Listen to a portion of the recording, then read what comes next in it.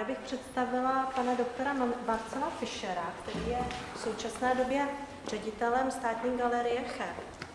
Je to člověk, který vlastně eh, dlouhou řadu let se pohybuje eh, v regionu a vlastně velmi úspěšně buduje mm, mm, galerijní a, a další projekty vlastně v podstatě eh, v místech, kde nám Pragocentrikum se to zdá takřka, takřka nemožné. A on, vám dneska tedy uh, poví takový jako částečně svůj životní příběh, jak se, jak se, jak postupoval uh, uh, galerijním provozem uh, České republiky. A samozřejmě doufám, že se i dotkneme vlastně tématu vůbec jako státní galerie a toho, jak, jak fungují, jaké možnosti vlastně dávají, a vy se budete moct i ptát na, na, na věci, které vás k tomu zajímají. Zároveň eh, se Marcel dotkne i um, projektu Starpoint, který si myslím, že zvlášť pro, pro ty z vás, kteří jsou studenty AVU uh, nebo UMPRu, může být jako velmi, velmi přínosné mít možnost se zeptat přímo na, na informace k tomuto tomuto projektu. Takže já už nebudu zdržovat, předávám slovo a ještě jednou děkuji, že jsi, že jsi k nám dorazil. Tak já děkuji Pavlíně za pozvání. Děkuji vám, že jste přišli. Já bych vám dneska chtěl něco říct o regionálních eh, českých galeriích, nebo respektive muzeích umění, jak by se to správně mělo eh, nazývat. Bude to teda hodně jak říkala Pavlína o tom mým příběhu, takže vlastně to nutně sklouzne do takové jako uh, exibice, uh, one man show, za to se tady dopředu omlouvám, ale ono to vlastně ani, ani jinak eh, nejde. Uh, ty české galerie nebo muzea umění fungují na bázi takzvaných příspěvkových organizací. Vlastně nechci jako držovat moc takovými systémovými věcmi, ale ono to je docela jako důležitý, eh, protože eh, vlastně eh, příspěvkové organizace jsou něčím, co je vlastně společná forma, která, na které fungují třeba školy, divadla, knihovny a taky galerie. Léta letoucí už se u nás vlastně hovoří o tom, že by tady mělo něco vzniknout jako veřejnoprávní organizace, a taky se to chystá, že hlavně ty, nej, ty největší galerie typu Národní galerie eh, nebo Moravské galerie, nebo ty, co jsou vlastně pod ministerstvem, by měly mít ten nový statut, což by v podstatě znamenalo to, že oni by byli odříznutý od toho zřizovatele nějakou jako radou, nějakým bordem, který by vlastně filtroval ty přímý politické tlaky eh, na ty organizace, které se dneska vyskytují a jak se potom toho dotknu. Já jsem tedy byl toho svědkem zažil jsem to eh, na přímý kůži. Ty, eh, ta síť českých regionálních galerií je tady vlastně poměrně jako bohatá. Když se podíváte, tak v každém kraji najdete minimálně jednu galerii.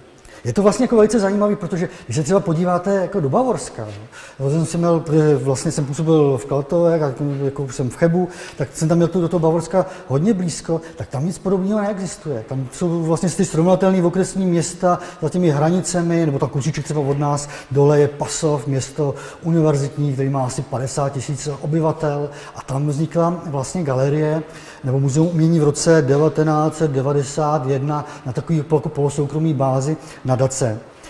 A tady u nás to je opravdu v, každý, v každém eh, okresním nebo jako eh, v každém krajském městě a v poměrně hodně i okresních měst. A je to dáno tím, že vlastně eh, většina těch galerií vznikla v takových dvou vlnách v 50. a v 60. letech, protože těch starších je opravdu málo. Je třeba Národní galerie, tady před rokem 45, eh, to se ani vlastně neuvědomujeme, tady byla Národní galerie byla tady třeba galerie v Roudnici, která vznikla na bázi soukromí sbírky a nějaký městský obrazárny. Ale jinak tady byla vlastně Národní galerie a jinak nic. A v těch 50. letech vznikla vlastně v rámci takové té tendence, kdy se umění mělo přibližovat lidu, tak v každý krajský, v každém krajském městě vznikla krajská galerie a potom později vlastně v 60. letech se to ještě víc zahustilo, takže vlastně kde byl nějaký důvod, eh, třeba jako prázdná, prázdná vodná budova, tak tam vlastně se nechala udělat, udělat galerie. Eh, což vlastně příklad třeba tady Klenový, o který budu, eh, o který budu mluvit za chviličku, eh, kde vlastně byl opuštěný zámek, nebo třeba v Chebu byla opuštěná radnice barokní.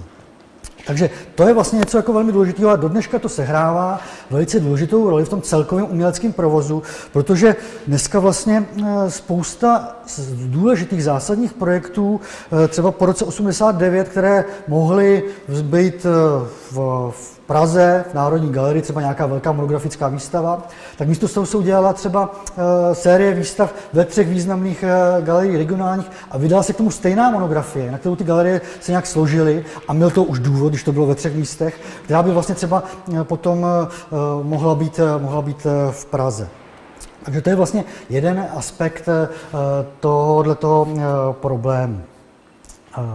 Já se potom dostanu eh, dál k tomu, eh, co to vlastně znamená, když člověk jako řídí eh, příspěvkovou organizaci. A teď už bych se vlastně rád dostal tady k tomu obrázku za mnou. To je vlastně mé první působiště.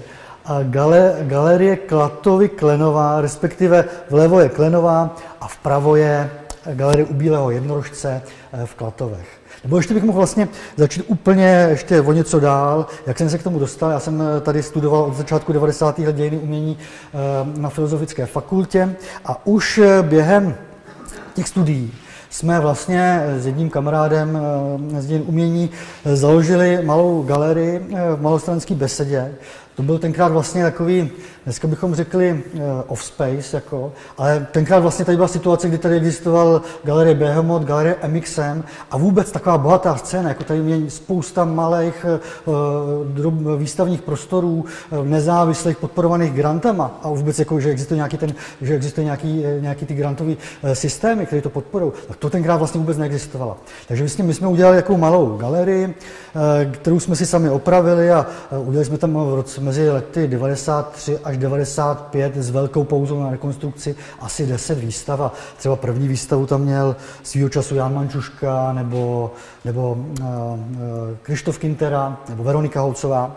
Takže vlastně když jsem v roce 96 už se blížil nějak k diplomce a dostal, a přečetl jsem si jednou v ateliéru, ten už taky neexistuje, to, to už vlastně je to všechno historie, přečetl jsem si inzerát, že na Klénový hledají mít kurátora tak jsem okamžitě zareagoval a zavolal jsem tam, protože Klenová leží 50 km od mého rodiště. Takže vlastně se tady eh, pro mě vynořila taková jako ohromná nabídka a eh, musím říct, že vlastně eh, jsem tam šel i proto, že galerie Klatovy Klenová byla už v té době jedna z mála galerií, která se programově zabývala současným uměním. To už byl vlastně od začátku 90. let velmi kvalitní program, dělali se tam třeba taková jako známá známá série výstav, která se eh, jmenovala Šedá cihla. Navazovalo to na takový jako ještě eh, předrevoluční eh, polo-undergroundový sborník a bylo to něco v podstatě jako Eh, jako později vlastně byl Zlínský salon, mělo to takovou vlastně jako bázi jako salonu, byť se to eh, salon neříkalo, ale bylo to vždycky taková přehledová výstava, probíhaly asi tři nebo čtyři ročníky a ten poslední byl třeba věnovaný celý exilové tvorbě. Zkrátka, eh, Galerie Klatovy Klenová bylo místo, kde se dařilo současnému umění a s tím záměrem jsem tam šel. Jak to vidíte, tak to místo je teda velmi půvabné, základem je středověký hrad, hnedka vedle je zámek, pak tam tady máme, není to nějaký ukazovátko, ale tak třeba tady je taková síp, ne, tady je vila, kde jsme udělali z toho rezidenční centrum, vpravo od, a kde jsem měl byt, teda nádherný, vpravo je sípka, kde vznikl krásný alternativní prostor pro právě vystavování. Děkuju se to dělá, takhle.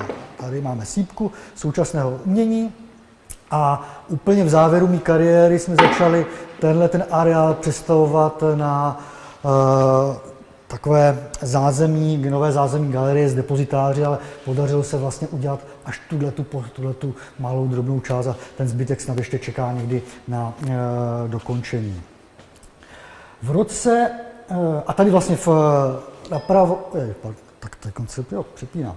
Takže eh, tady napravo, z vašeho pohledu napravo, eh, je galerie u Bílého jednorožce, což zase je vlastně, protože ta galerie měla dvě části, eh, ta druhá byla v tom okresním městě Klatovech, kde byl na hlavním náměstí takovýhle krásný objekt dvoupatrový, k, vlastně jestliže na té Klenové to bylo takový všechno takový trochu alternativní a byl to zámek a hrad a, a sochařský park, tak v těch Klatovech jsme měli takový klasický muzeální výstavní prostor. V roce 2009 jsem musel musel z Klatov odejít. Byla to taková jako nepříjemná kauza, protože tenkrát, a já jsem se zapomněl telefon, tak se omlouvám.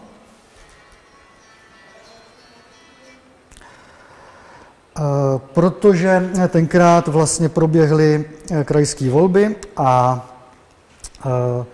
změnil se tam, změnil se tam úředník, který vlastně s tím jsme si vlastně nepadli, nepadli do oka. A já se mám nový telefon, já se to ještě eh, musím naučit, jak se to vypíná. Sice nevypadá jako nový, ale je teda. Eh,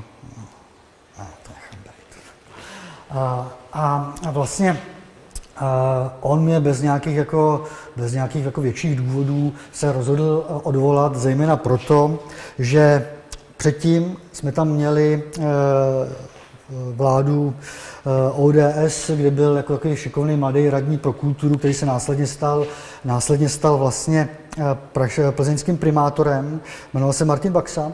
A ten vlastně měl o tohleto velký zájem a my jsme tam jako rozdělili spoustu jako zajímavých projektů právě s podporou tohoto člověka, k, Včetně třeba toho, že jsme, že jsme vymysleli i místo, kde bude stát nová galerie v Plzni a kde jsem to jako eh, tehdy tam doporučil i, i potom eh, budoucího skvělého eh, ředitele Romana Musila. Zkrátka ten člověk měl o to výtvarné umění zájem a když tam přišel potom člověk jiný ze sociální demokracie, tak ten to velmi těžce nesl a v podstatě se mi iracionálně rozhodl odvolat. Vzednula se tenkrát ohromná vlna podpory, protože vlastně tenkrát už galerie měla eh, v celku eh, slušné renomé a eh, konaly se demonstrace a paní hitmanka Emerová za to dostala tenkrát dokonce v Reflexu hned dvakrát kyselou prdel, což je takové ošklivé ocenění pro nějaký jako, pro, za nějaké jako negativní, negativní počiny.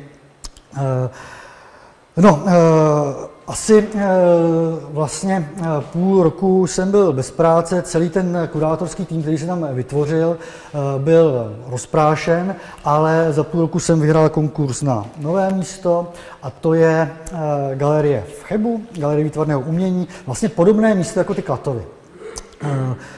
Okresní město, u hranic, vlastně město, kde jako není nějaké extra publikum, které by se zajímalo o, o výtvarné umění, ale zároveň vlastně uh, skvělé, uh, skvělé prostorové možnosti, nádherná sbírka, prostě jako velká výzva.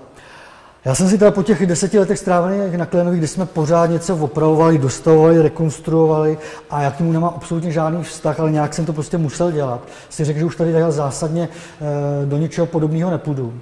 Ale loni se stalo to, že, ach jo, že se uvolnil tenhle ten dům vedle galerie a Uh, vlastně my jsme se o něj začali ucházet nejdřív kvůli depozitáři, ale oni nám ho samotný jako jenom kvůli depozitářům dát nechtěli. Uh, tak uh, jsme tam vymysleli takový projekt, na který jsem si říkal, že by ty politici mohli slyšet a udělali jsme tam takzvaný retromuzeum. Je to vlastně nejenom o tom retru, ale je to v podstatě jediná ucelená syntetická expozice designu eh, od 60. do 80. let, která teď vlastně dneska u nás eh, existuje. Ale tomu třeba potom zase ještě víc dál. Tak, tak tady už jsem vlastně eh, u našich aktivit na Klenoví a v Klatovech. Ta etapa vlastně o těch 10 let nebo 15 let vlastně, co se tam strávil z toho 10 let jako ředitel, a měla zhruba dvě části. V té první vlastně, eh, tak to bylo tak jako do roku 2004, jsme se tam eh, vlastně, eh, nebo jsem tam měl takový kurátorský tým, který byl jako lehce konzervativní a celý jsem se to vlastně učil. Vzal jsem tam svého kamaráda a, kolegu ještě z té galerie tady v pražský, který se jmenuje Martin Souček, možná ho znáte.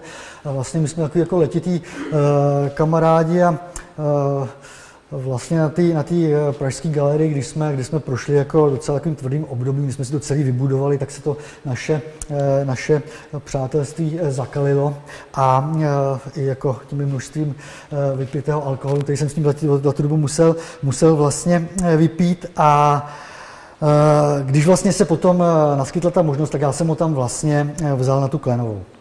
A s Martinem vlastně ale už v, v, v tom období, kdy jsme spolu, spolu vlastně působili, tak se začal víc etablovat jako, jako vlastně nakladatel a když potom vlastně ta jeho nakladatelská činnost převážila, tak odešel do Prahy a vlastně posledních deset let je to nejvýznamnější nakladatelství pro výtvarné umění eh, Arbor Vitae, co tady vlastně u nás je a, a má požehnaně těch eh, cen nejkrásnější kniha roku a magnézia, litera a všeho možného. Ale vlastně eh, on jako do značné míry udál nebo spolu vytvářel tu podobu prvního, těch prvních let na Klenový.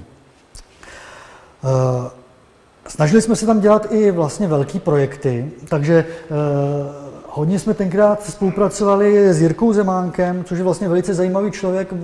Možná, že už jako mladá generace moc neznáte, protože on se v posledních letech jako hodně stáhnul, odstěhoval se taky na Šumavu a už o, něm, už o něm není moc vidět, ale on eh, v té době připravil hned tři velké eh, projekty, které vlastně spojovaly takovou jako takový zaujatý ekologii a aktivistický přístup eh, spolu vlastně s takovým jako duchovním, duchovní interpretací světa. A vlastně hned ty dva projekty eh, byly u nás. Tady je máme. Jeden z nich se jmenoval Divočina, příroda, duše, jazyk. Bylo to ve všech prostorách, na Klenový i v, v Klatovech a byl to opravdu velký projekt. A ten druhý, ten se jmenoval uh, Od země přes kopec do nebe a byl vlastně věnován fenoménu poutnictví. A dělali jsme ho spolu s galerií v Litoměřicích. V Litoměřicích to bylo spíš v Omáchovi, nebo to, tam je to Český střehoří, u nás o Váchalovi, protože tam je Šumava.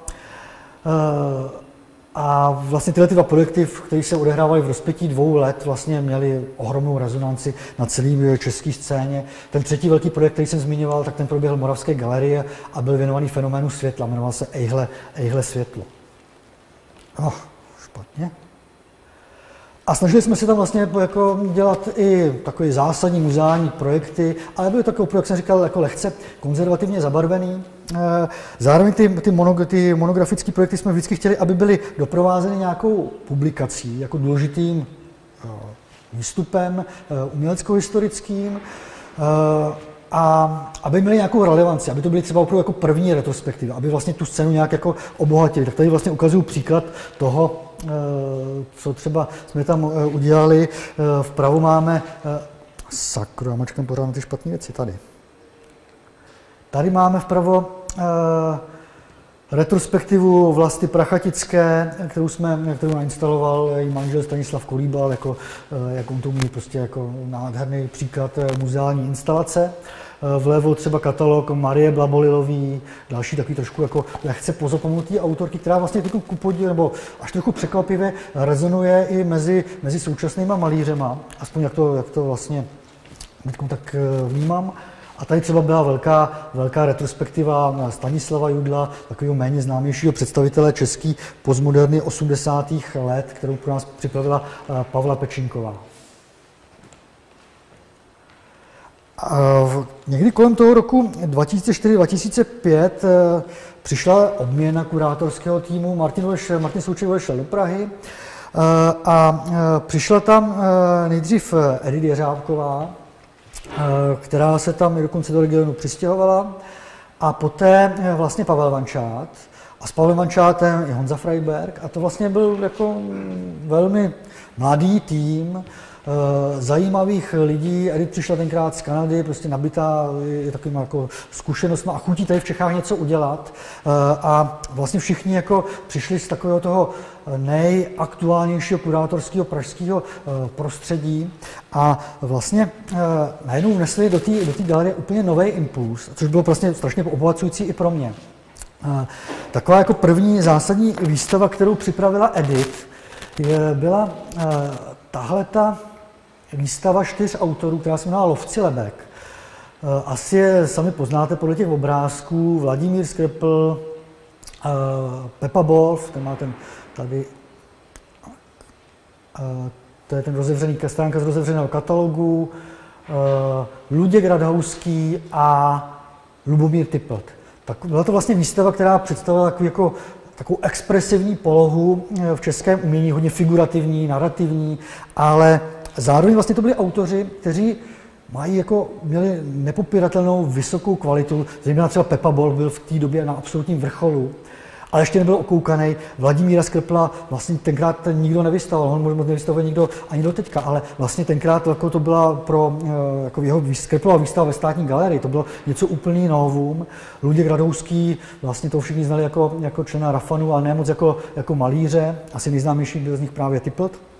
Ale celá ta výstava byla, byla vlastně zajímavá tím, jak byla strašně novátorsky a zajímavě nainstalovaná. Vlastně oni přišli úplně s něčím, co předtím jako nejspíš se objevilo v nějakých tady menších jako pražských prostorách, ale třeba uh, způsob instalace, kde ty obrazy stavili na zem, hodně je podvěšovali, tvořili z toho takový jako nezvyklý konstelace. A ono to moc nevyplývá z té fotky, kterou jsem ta jako jedinou našel na webu, protože po mým odchodu tam všechny, všechna dokumentace byla z webu smazená, kterou jsme měli jako eh, skvěle vedenou a dneska se k těm fotkám skoro nikdy uh, člověk nedostane. Ale jako, to byla opravdu jako výstava, s kterou jsme si, když jsme tam přišli, jako, tak si vlastně s ní všichni jako sedli na zadek, jak to bylo jako zajímavě, uh, zajímavě udělané. Uh, Další výstavy, které tady bohužel nemám ta zdokumentované, aspoň bych je zmínil, byla třeba výstava fotografie s dvěma otazníky, kterou připravil právě Pavel Vančát a Honza Freiberg, vlastně oba dva specialisti na fotografii. A zase to byl jako, nesmírně zajímavý kurátorský koncept, kdy jim se podařilo propojit Jana Svobodu na jedné straně a Potom takovou tu generaci, takový ty, ty, generaci fotografů 90. let typu Karl Jasanský Polák, Markéta Otová, taková ta nefotografická fotografie.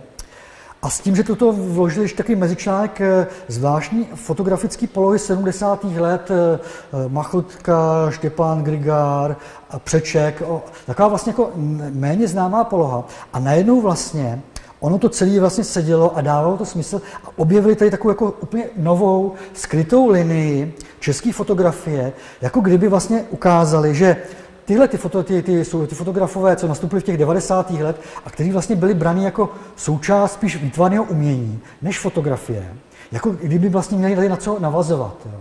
A že to vlastně uh, jako vytvořili úplně nový, nový uh, kunzistorický, uh, kunzistorický model.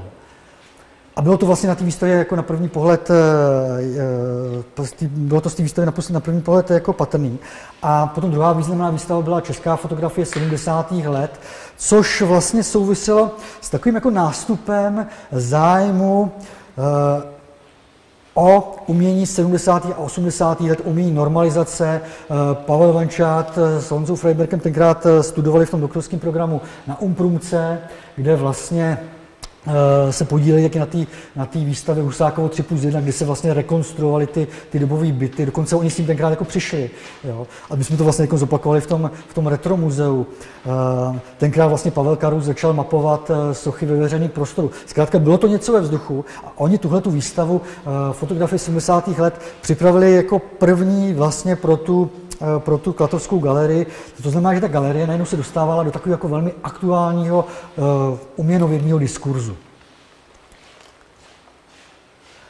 Vedle těchto těch jako uh, výstav, které hodně rezonovaly, jsem se vlastně vždycky snažil, aby v těch Klatovech vlastně jsme věnovali i pozornost, já řeknu, umění regionu. Já si myslím, že to je jako velmi, velmi důležitá součást aktivity každé regionální galerie a že vlastně se to nechá dělat buď eh, dobře nebo blbě. Jako když přijdete na nějakou, do nějaké jako okresní galerie a tam je salon místních umělců, tak to většinou jako ta výstava dopadá dost jako příšerně. A e, protože vlastně v té době byla jak na Klotosku, ale vlastně i v tom, celém tom plzeňském kraji velice silná a, a zajímavá lokální scéna. Několik jako lidí se tam vrátilo z akademie, ale byli tam i starší umělci A vlastně mi přišlo jako dobrý pro ně něco, něco jako vymyslet. Jo. Teď v těch, eh, musím říct, v tom Chebu podobný starosti díky bohu nemám, protože eh, v Chebu teda není snad jediný žijící umělec, který byl jenom trošičku jako měl nějaký jako silnější ambice. Což, a, a v Karlových Varech teda tam si pár umělců jako přes 60, ale zkrátka nikdo na mě netlačí, abych jim dělal jako monografické výstavy. Jako. To jsem si teda velmi oddech, ale tam jako v, tě, v těch letovech to bylo docela jiný. Byla tam Barbara Beniš a, a pak jako Jirka Ladocha, který se vrátil taky z Kanady a dotáhnul jsem tam tenkrát právě tu, tu Edith Jeřábkovou, což byl vlastně umělec, který byl zařazený do těch prestižních akademických dějin jako zástupce exilového umění. Bylo tam prostě pár lidí, kteří patřili do takového celostátního okruhu grafiky nebo třeba umění ve veřejném prostoru. A mě napadlo, že když už to teda jako něco bychom pro ně měli dělat, tak eh, že by to mělo mít nějaký systém. A vymyslel jsem tenhle ten projekt, který se jmenuje X plus X. Jo. Tady máte obálku dvou katalogů. Uh, trochu to zní jako MXM. Víte ještě někdo, co znamená MXM? Taková zkušební otázka. MXM znamená 1990, protože v ten rok byl MXM založen. A na podobném principu je tohle ten vlastně logotyp, jako protože x plus x znamená 10 plus 10. Tady vlastně na té obálce jenom půlka toho loga, druhá půlka loga byla jako ze zadu, takže to opravdu dávalo to 10 x plus x, 10 plus 10.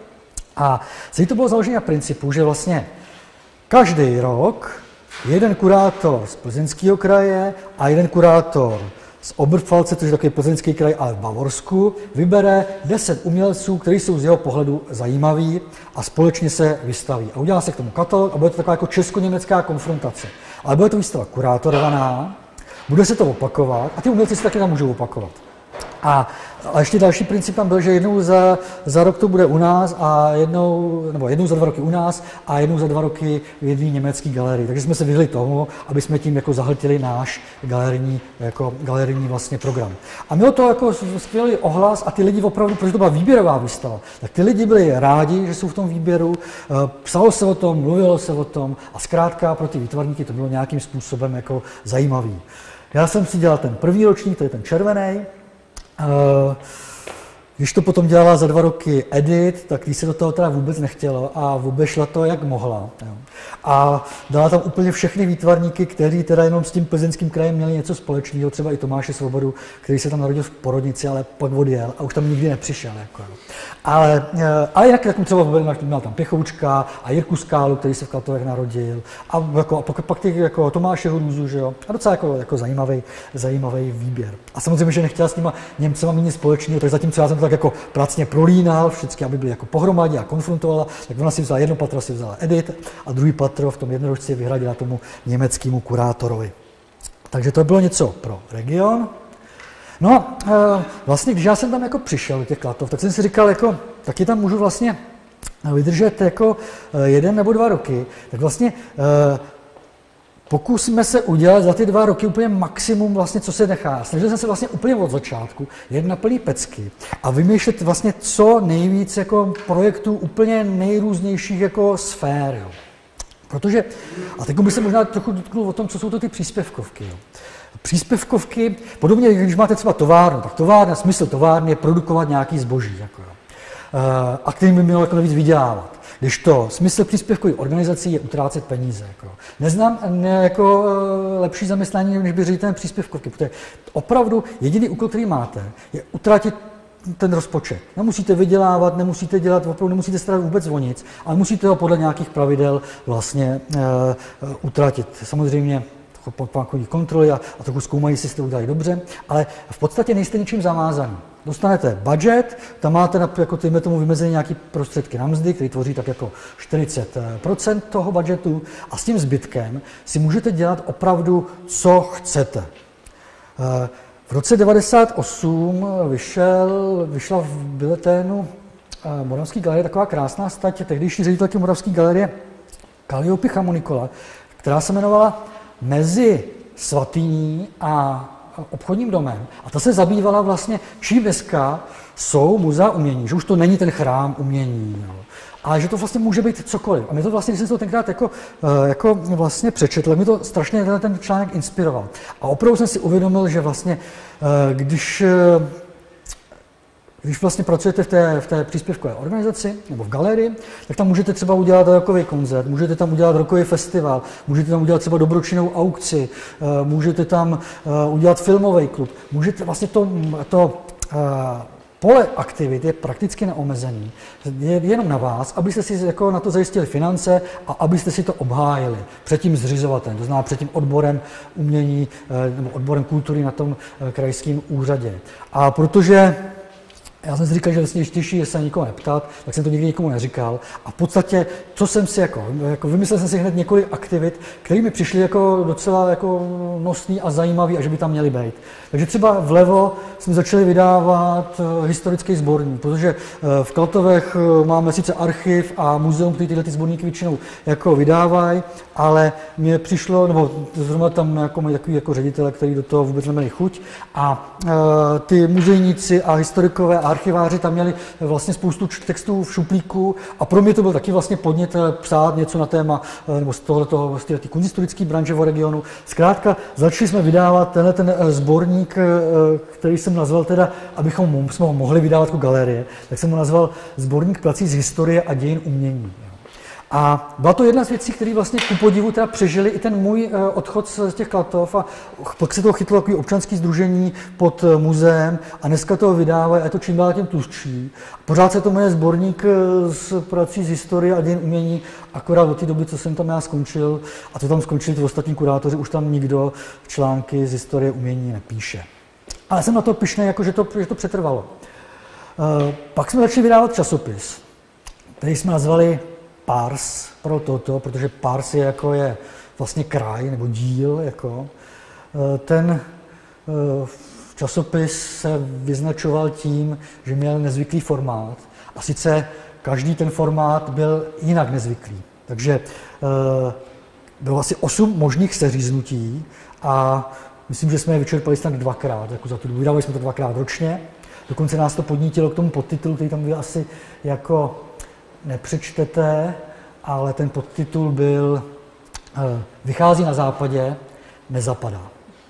Což jako mělo být, jako že by nezapadal i obsahově, že by se vymykal, ale myslím, že se spíš teda vymykal tím formátem, než nějakým tím obsahem. Bylo to jako takový úplně klasický časopis. Ale zase to byl jako pro nás důvod psát o té scéně a něco prostě jako nějak jako reflektovat a něco prostě jako dělat.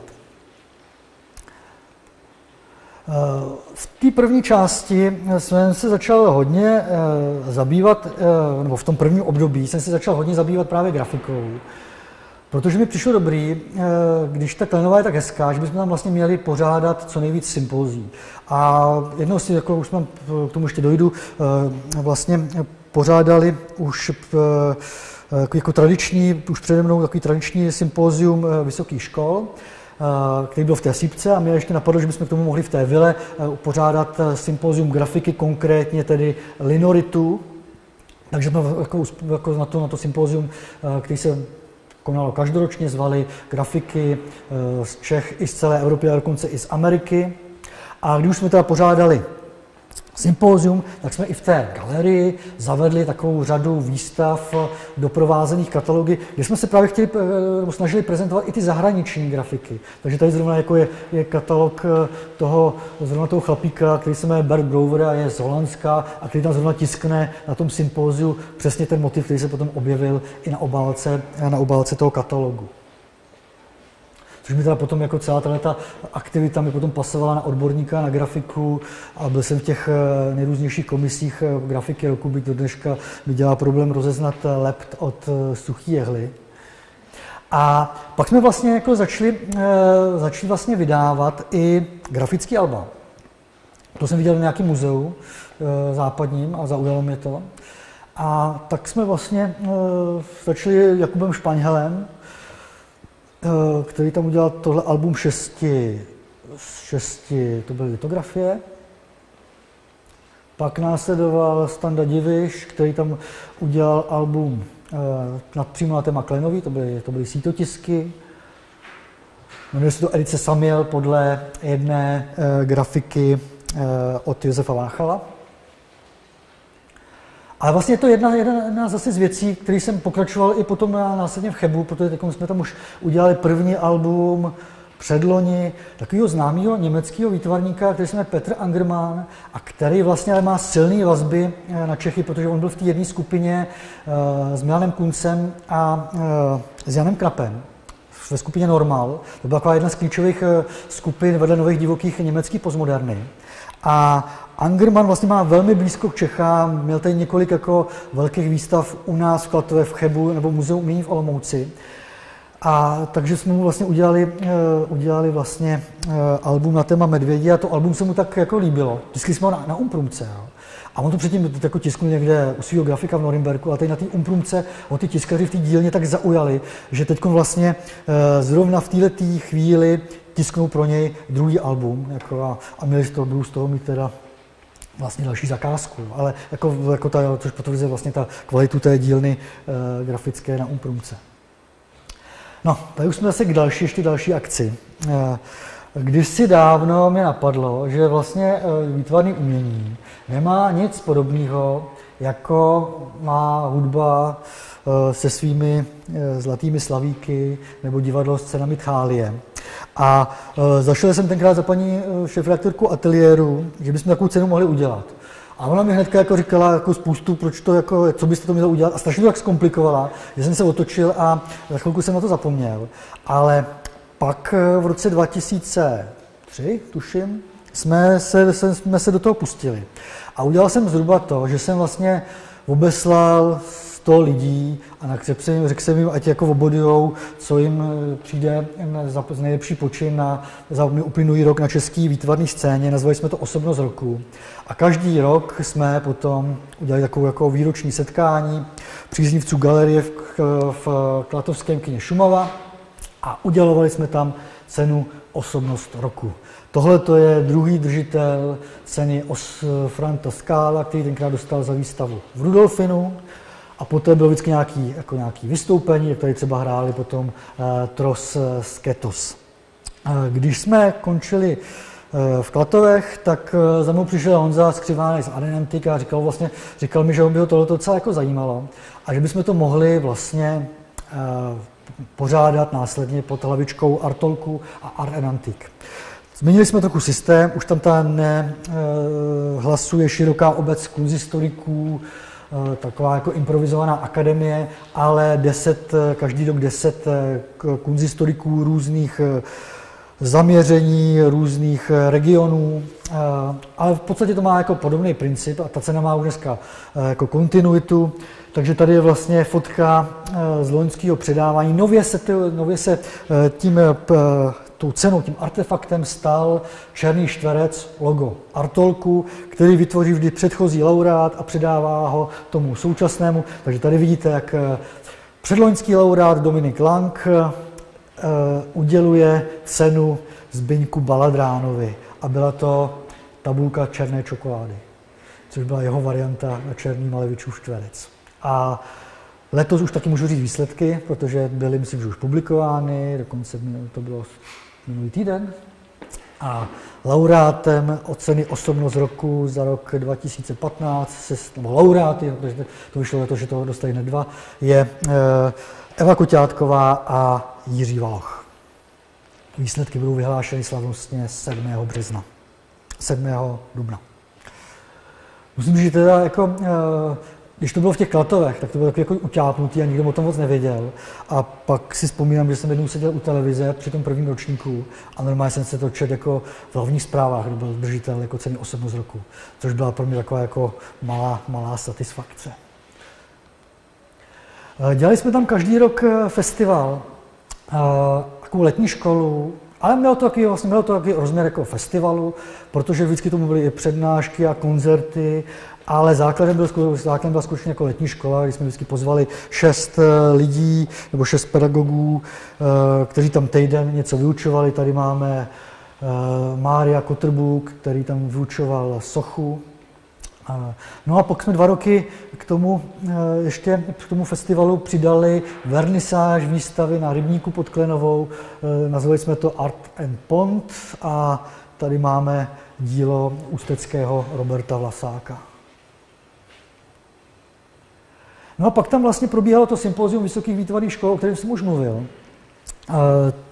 to bylo taky velkou tradici a vlastně tam jezdili školy celé Evropy, vždycky jako pedagog, tři výtvarníci, tady je Honza Karpíšek, takový vlastně klasický malíř, který vystudoval FAVu, ale tady teda tvoří hodně experimentálně. Zase to jsou pár fotek, co jsem na tom netu našel.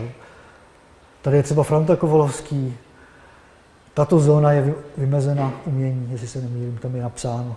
Jedna z jeho důležitých akcí a vlastně doteďka ty fotky, které tady vlastně udělal Klenový, eh, ty akce, ty záznamy vlastně on prezentuje jako, jako velmi důležitou součást svého díla a najdeme ho, najdeme ho třeba, eh, najdeme je třeba u jeho profilu na uh, artlistu.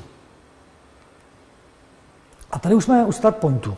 Uh, tenkrát vlastně ještě musím říct důležitou věc. Hodně důležitou osobností pro mě byl člověk, který se jmenuje Honza Pelánek. A to byl, to byl člověk vlastně jako sběratel, který uh, má největší sbírku Váchala. Když byla ta velká výstava v Rudolfinu, tak to bylo ze dvou soukromých sbírek uh, a jedna byla jeho. A ten si eh, zrovna v té době, kdy já jsem stal ředitelem, koupil zámek, barokní zámek, ruinu barokního zámku mezi Klatovama a Klenovou. A začal ji opravovat. A to je jako člověk, který je nesmírně aktivní a my jsme pro těch deset let jako uh, všechny ty projekty, které jsem ukazoval, tak v podstatě jsme jako dělali spolu. V časopis on upravoval, spoustu výstavám dal impuls, uh, vyme, jako vymýšlel věci. Prostě to byl člověk, který vlastně chrlil nápady a jako zajímavý diskutér a neuvěřitelně jako, jako chytrý člověk. A taky jsme si vlastně říkali, že bychom mohli udělat i nějakou jako cenu pro pro e, mladý výtvarníky. To je, on říkal, jako asi to vzniklo tak, že on říkal, já jsem kdysi chtěl dělat cenu pro mladý výtvarníky a on se zná hodně s tou, tou generací 80. let, kde sbíral e, zejména lidi, jako je třeba e, Plach nebo Miner. A říkal, jako, že vlastně byl takový nápad, že Samotní ty studenti nejlíp ví, kdo je mezi nimi ten nejlepší. A kdyby se měla dávat nějaká cena pro mladý výtvarníky, že by si to měli jako rozhodovat ty studenti. A to se ukazovalo potom, když jsme o tom přemýšleli víc, jako, tak se to ukázalo jako naprostá blbost. Ale z tohoto záročního, záročního okamžiku potom vznikla idea ceny, eh, kterou jsme nazvali start point, to znamená bod na začátku. Eh, mě tenkrát vlastně napadlo, že tady jsou čtyři etablované školy, každá z těch, no, samozřejmě dvě ty pražský, FAVu a Ostrava, eh, že každá z těch škol Eh, chrlí absolventy, má nějakou diplomovou výstavu, ty diplomové výstavy přitahují nějakou, přirozeně nějakou jako pozornost, diskutuje se, co na tom bylo nejzajímavější. Tak mě napadlo vlastně udělat konfrontační výstavu těchto těch nejlepších diplomových prací těch čtyřech škol. A v tomto formátu to probíhalo dva roky. Třetí rok jsme vzali, přibrali Bratislavu. Ty první dva roky jsme se vlastně jako docela učili, i vlastně jsme jako si tenkrát ověřovali vlastně vůbec ty parametry, protože jako úplně zásadní věc se ukázala mít v těch, v těch, těch porotách, které to budou na těch jednotlivých školách vybírat, ty dobrý lidi, ty klíčoví lidi, kteří to vlastně jsou schopní jako rozeznat. Jo. Takže vlastně mm, za ten první rok se skoro stydím, protože to vlastně jsme eh, na, na té na té uh, akádě byl vlastně tam v porotě, tuším, Michal Richstein a, a tenkrát to vlastně byl ten Zbigněk Baladrán, že jo. A měl si vybrat on, ale jako pro Michala to bylo něco nepřekonatelného, tak se vzal, tuším, jako Michal Burger, dneska vlastně člověk jako úplně, úplně který zapad, jako. A e, nakonec to vlastně ten, tím prvním držitelem byla Jana Besmáková z Brna, která taky úplně zapadla. To dneska znáte jenom, když se podíváte na ty videa s Vendulou Chalánkovou, jak tam mají tu malou kapelku, tak eh, jak Vendula tam hraje na ty, na ty varhánky nebo na co, že jo, jak tam vždycky spoušně, máčkne ten knoflík, tak Jana Besmáková je ta, co zpívá. Ale jinak už o ní není moc slyšet. Ale potom se to celé jako tak eh, vyprofilovala a už to šlapalo dál. Druhým eh, laureátem byl Pavel Ryška, třetím Tereza Severová, ale bylo to jako hodně těsný jako mezi ní a, a Kateřinou Šedou. A od čtvrtého ročníku jsme si vlastně říkali, tohle to vlastně je takový projekt, který by se nechal v celku jako v pohodě rozšířit jako na ty, eh, i na ty uh, ostatní školy v zahraničí, v podstatě na celou Evropu. Navíc, když máme ty výborné kontakty přes to, uh, přes to sympózium vysokých výtvarných škol, kam jezdili vlastně jako opravdu školy hodně ze Švýcarska, z Německa, z Polska.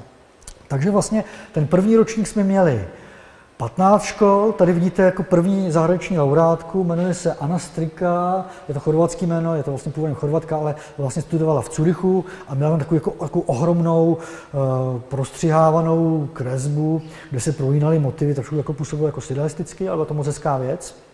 A, a tady máme vlastně laureátku předposlední, ta se jmenuje Matea Bakula, není z Chorvatska, ale původem z Bosny, ale taky, taky vlastně byla vybraná za tuším za Gent nebo, nebo něco podobného. A zkrátka za nějakou belgickou školu.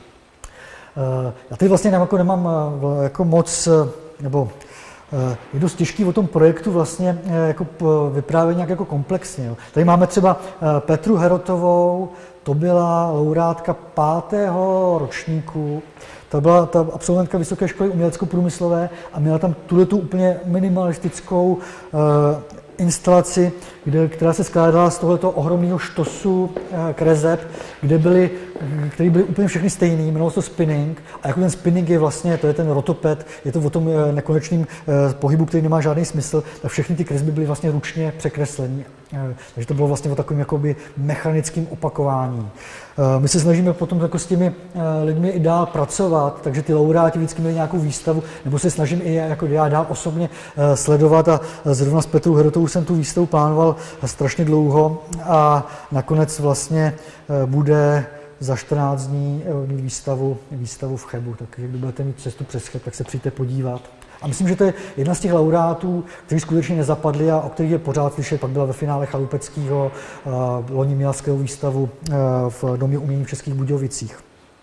Můžu se zeptat, Starpoint, jaký teď má statut? Jako, tak, byla to jedna vlastně z těch, z těch věcí, které jsem, nebo z těch projektů, který jsem chtěl nějakým způsobem převést, eh, převést eh, nebo vyvést z té galerie Klatovy Klenová, když jsme tam skončili. Takže vlastně jsme hledali jako nového zřizovatele. A tenkrát, eh, tenkrát vlastně mi právě pomohl Martin Souček, o kterém jsem už tady mluvil, a vzal to pod hlavičku nadace Arbor Vitae. Ale bohužel zase nadace Arborvité má posledních letech svý problémy, takže to tam trošku teda skřípe a zase se snažíme jako najít jako trochu, eh, ještě trochu jít někam dál, takže to možná vypadá, že bychom snad byli pod Ondřejem Stupalem a pod, eh, pod eh, Centrem současného umění, který by byl ochotný nás víc pod křídla. Ale v podstatě ten první rok jsme to pokračovali v tom roce 2009 pod hlavičkou nadace a tenkrát vlastně se rozjel GAS, Galerie Českého kraje, takže jsme nás vlastně, takže jsme jeden rok byli v GASku, a tam to taky velmi rychle skončili, skončili, jako všichni víte, takže pak jsme byli rok ve Vaňkovce, tři roky v DOXu a Loni jsme se konečně dostali na tu adresu, kterou si myslím, že Starpoint zaslouží, a sice do Veletržního paláce, do sbírky současného umění, kde ta výstava vypadala jako skvěle. Eh, Budakovi se jako moc líbila. A samozřejmě i pro prestiž celého toho projektu, pro to, a vlastně, aby ty školy na té ciziny na to reagovaly pozitivně, je jako strašně důležitý, když to je na dobré adrese. Kolik je tam teď škol? Uh, už tak jako od toho uh, 6. 7. ročníku se to ustálilo na, tři, na 30 až 40 školách. Ono to vždycky jako kolísá. Některá škola vypadne, někdy se přesunou diplomky, někdy se prostě jako e, nestačí tam zajít, nebo tam třeba vlastně e, ani není zajímavý. Ještě tak já se trochu vrátím k těm, tomu statutu. My to vlastně děláme tak, že každou školu navštíví e, dva kurátoři, a nejčastěji spolu s někým z té školy, kdo se na té scéně vy, jako vyzná, vybereme jednoho laureáta, nebo vybereme jednoho reprezentanta té školy. Pak se sejde eh, komise, eh, která už je tvořená s těmi kurátory, eh, který to vlastně vybírají na těch jednotlivých školách, která je vytvořená z těch kurátorů, co to vybírají na jednotlivých školách, ale vlastně jakoby z té střední Evropy. A ta vybere z těch 35-40 škol zhruba 20 na výstavu. Protože ono se to nezná, ale zhruba opravdu na těch polovině škol tam není ani ta jedna diplomka, která by obstála vystavení. Je to docela tristní, ale musím říct, jako, že eh, třeba když přijdeme někam eh, na Royal Academy do Londýna, nebo, nebo který jsou ještě výborné školy, třeba Amsterdam, jo. tak tam jasně jako je třeba pět, pět věcí, z kterých si může člověk jako vybrat a je to velký, těžký rozhodování. Ale většina, většina těch škol je buď jedna uh, práce, která jako jasně z toho leze a není moc problém se pro ní rozhodnout, anebo tam není vůbec nic. A my jako vybereme takovou tu nejlepší školu, ale pak ta škola neprojde tím sítem toho druhého kola. A zkrátka všechny školy jsou prezentované na netu uh, a potom, uh, potom vlastně těch 20 škol je na výstavě a všechny ty, všechny ty práce, co jsou na výstavě, se potom objeví i v katalogu. Ten katalog eh, už od... Eh, já jsem dneska z toho zblázním. Eh, ten katalog vlastně už od toho roku 19, 2009 upravuje Petr Babák a jeho studio. A oni vymysleli takový jako skvělý nápad, že každý z těch výtvarníků tam má čtyři stránky a každý z nich má vlastní obálku. Jo. Což bylo jako velice eh, náročné na knihaření, protože oni vlastně to musí jakoby poskládat ty archy a pak je jako různě přehazovat. A udělat to v té knihárně tak, aby jako na každého z toho těch výtvarníků připadla zhruba stejný počet obálek, ale vlastně tady vidíme dva ročníky, i ten, i ten design se trošku jako proměňuje, ale ten princip zůstává zachovaný. Což teda jako výsledku to jako i dost prodražuje, což není teda úplně praktický. No a potom laureát, eh, nebo takhle, cenou jsou eh, pro eh, laureáty jsou pobyty, rezidenční pobyty, většinou vybíráme držitel hlavní ceny a zhruba tři čestní uznání. Takže pro Čechy někde v zahraničí, pro zahraniční umělce tady v Praze. A uděláme z toho vždycky nějakou výstavu, nejčastěji to bylo v Národní technické knihovně nebo v poslední době v Chebu. A laureát dostane za odměnu takovýhle jako krásný, poměrně slušný katalog, kde vlastně má rok na to, aby vlastně připravil si buď i samostatnou výstavu, protože někdy jsme té výstavy laureátů dělali ještě jemu samostatnou výstavu, anebo aspoň práce vlastně do toho katalogu, nebo aby připravil ten, ten katalog. Jako, jo. Takže vlastně ten start point je do určité míry i výzva pro toho laureáta, aby vlastně na sobě jako zamakal a něco během toho roku jako e, připravil. No a tady už jsem v Chebu. V Chebu vlastně, eh, do Chebu jsem přišel, jak už tady zaznělo, v, před pěti lety a eh, vlastně během těch pěti let eh, se nám v tom kolektivu, co tam máme a ve spolupráci s několika externími kurátory, zejména tedy Ondřejem Chrobákem, jako celou tu galerii nějakým způsobem modernizovat. To znamená, ve všech patrech jsme udělali novou paneláž, a která z těch prostorů udělala plus minus jako slušné místo k vystavování. Tady jsme v prostoru, eh, který mu říkáme Malá galerie a ten je právě učen prezentacím současného aktuálního umění. Já jsem tady záměrně vybral výstavu Lumíra Hladíka, protože vím, že Pavlína eh, mu připravila monografii, jako, velice zajímavý eh, výtvarník, který byl vlastně nejbližší kamarád Jirky Kovandy eh, v těch 80. letech ale, a dělal s ním ty akce, ale pak odešel do Kanady a nějak se na, něj zapomněl, na něj zapomnělo a on ji přestal dělat a teď se vlastně vrátil k umění a vrátil, vrací se i do Čech a říkal, že by tady strašně rád jako vystavoval a, ale vlastně jsme přemýšleli, jako, že bych tomu ještě měl být nějaký jako kontext přidaný nebo nějaký zajímavý výtvarník. A Michal Mánek, který tady taky dneska byl, tak ten vymyslel, že ho spojí, že ho dáme dohromady s Matyášem Chocholou a udělali si takovouhle zajímavou výstavu. Eh, z části byla vlastně založena na tom, že byli na třídy na Šumavě a tam udělali vlastně jako, jako, jako společní práce. To jsou, to jsou takové ty větve, co tam visí, eh, různě obalený, které tam potom prezentovali. Takže to jsou části starší práce, z části Eh, z části vlastně eh, ad hoc eh, vytvořený pro tu výstavu. Tady je velký prostor v patře, už taky vlastně po té nové paneláži, je takový jako klasický muzeální prostor pro větší výstavní projekty. Takže tam děláme projekty, klasické muzeální projekty, tak třeba se snažíme každý rok přijít jako s jednou zase retrospektivou nebo jako jako výstavu věnovanou, ani nikdy ne, retrospektivu věnovanou uh, umělci takové té střední nebo starší generace, dnešních jako šedesátníků, padesátníků. No dneska už se vlastně to měřítko, je střední generace, trochu jako posouvá, to znamená takových těch žijících klasiků. Takže tady máme třeba Standu Diviše, a to byl takový projekt jako velice hezký, který uh, pro nás připravil Marek Pokorný a já jsem vlastně o něm moc stál, protože on má takový regionální akcent. Marek Pokorný když si uspořádal v 90. letech sympózium v Aši, protože on pochází z Aše, to má kousíček od nás, kde byl i Standa Diviš, a on si tam všimnul těle těch, těle těch vzorníků. Jo. Tenkrát zrovna, když tam dělali eh, v tom muzeu výstavu z toho sympózia, tak tam přivezli tyhle ty sborníky. Vzorníky, ne zborníky, vzorníky, který zachránili z nějakých textilek. Tam byl textilní průmysl eh, a když to vlastně jako celý krachl v 90. letech, tak tyhle ty vzorníky převezli do muzea. A to jsou prostě historické vzorníky, kde jsou malinký odstřižky látek, prostě eh, v podstatě takový archiv firmy. A to jsou fascinující, fascinující předměty. Jsou opravdu, jako, to připomíná až jako nějaký středověký fascikly. Jo. A Uh, jsou strašně tlustý, jako, jako opravdu působí předměty. A on se jim inspiroval pro takový velký cyklus obrazů, který, byl, který namaloval ve dvou vlnách 1995 a 2008. A, a jsou vlastně ta podobnost je na tom jako zjevná. Ale je to vlastně, vedle toho, že to jsou abstraktní obrazy, tak nějakým způsobem jakoby odkazuje k historii toho regionu, k jeho, eh, k jeho prostě identitě.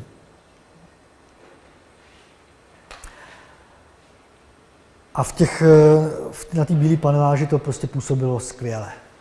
A tady je vlastně příklad jednoho z těch eh, muzejních projektů, to byla Anička Pravdová, kurátorka výstava Zastihla je noc o český, českých výtvarnicích během druhé světové války ve Francii. Jo. Jako opět perfektně připravená výstava, skvělá eh, architektura, skvělá typografie, eh, typografie Adela Svobodová, eh, architektura její bratr Tomáš Svoboda. A tady je vlastně stála expozice, na kterou jsme si dali, nebo na který nám hodně záleželo, dali jsme si na ní hodně záležet. Zrovna teď jsme ji v pondělí nově reinstalovali v, jisté části, zrovna v této teda. Tady vidíte naše eh, nejvzácnější dílo, opuštěné doupě od Toajen. Vlastně po, analogický obraz ze stejného roku, stejně veliký, hodně podobný, držel jeden čas český aukční rekord. A je o něm pořád zájem z nějakých zahraničních institucí, protože ta Toajen vlastně eh, je jedna z mála českých výtvarnic nebo výtvarníků, které mají eh, mezinárodní, mezinárodní dimenzi. Tady jsme v sekci 60. let eh, a tady jsme eh, vlastně eh, v 80. letech. Ta 80. léta jsme se snažili udělat trošku jako jinak, než přes ty tvrdohlaví, takže jsme tam dali skrpla, dali jsme tam ztratila, ten skrpl je tam hnedka naproti, víte, jak se krásně v tom ztratilově odráží. Kovandu, který pro nás udělal věci podle jednoho skicáře, podle skicáře, ty vlastně věci v těch 80. letech existovaly jenom na papíře. A dotáhli jsme to vlastně až do současnosti, protože to byla jako jedna z těch premis, kterou jsme se snažili naplnit, že chceme vlastně, aby ta stálá expozice byla až do současnosti. A pořád ji vlastně obměňujeme, takže dneska tam máme v té závěrečné části Pěchoučka, Kinteru, Bolfa, Vaška Girsu, Alici Nikitinovou a Alici Nikitinovou a Vendulu Chalánkovou. A tady potom je jeden sál v té stálé expozici, který vlastně řeší to, co řeší uh, teď vlastně muzejníci uh, pořád, jak vnést do stálých expozic nějaký pohyb. Jo aby nebyli vlastně nějak zastydlí, aby prostě jako byl nějak důvod s nimi dále pracovat, tak my jsme v rámci té stále expozice eh, vyhradili jeden sál, který je takový vlastně jako, jako odbočkou eh, na, tý, na tom procházení celé té stále expozice, takovým appendixem, kde děláme malinký výstavy z depozitáře a vždycky se snažíme, aby to byly výstavy zase kurátorované. To znamená, aby přijel nějaký kunzistorik, který vlastně specialista na tu daný období, jako tady třeba paní eh, doktorka Maholina Nešlehová na Informel, vytáhnul nám to z toho a napsal nám tomu nějaký text, eh, napsal to nějaký skládačky a zkrátka vlastně proskoumal to, co my v těch sbírkách máme. Takže za necelý měsíc bude začínat eh, František Tichý, který pro nás připravil Tomáš Winter. No a tohle je expozice gotiky, kterou jsme teda taky nejen reinstalovali a kterou jsme vlastně přenesli i z jiného prostoru. Předtím byla vystavena barokním kostele svatý Kláry a my jsme ji vlastně vyhradili část té hlavní budovy, protože mi jednak přišlo dobrý, když vlastně ta galerie má všechno pohromadě. A jednak vlastně eh, to byl důvod jako jí úplně nějak jako jinak a mnohem působivěji vlastně jako představit. Myslím, že to je dneska jako jedna jako z nejlepších expozic gotiky uh, u nás. No a tady se už dostávám k tomu retro muzeum, jak jsem o něm mluvil vlastně na začátku. Tady vlastně z té mapky vidíte, proč jsme o to tak strašně stáli. Já tady zase opět použiju uh, ukazovátko. Tohle to černě ohraničené je galerie, ta stará budova.